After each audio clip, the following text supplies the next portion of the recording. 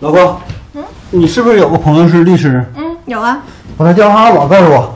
刚才我逛街，有个人骂我是傻叉，我是不是应该告他？那必须告他呀！这种泄露别人隐私的行为，肯定得告他。对。啊？泄 泄露泄露。亲爱的，我们俩都处这么长时间了，我也喜欢你，你也喜欢我，你有没有考虑过我们俩什么时候结婚呢？那个亲爱的，嗯我跟你说个事儿，然后你再考虑要不要跟我结婚。什么事儿？说吧。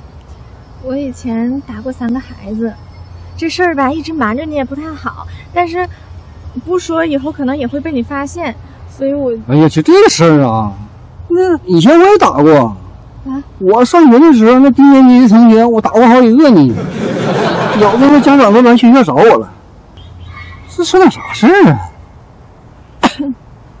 那个你要是这个智商的话，我就放心了。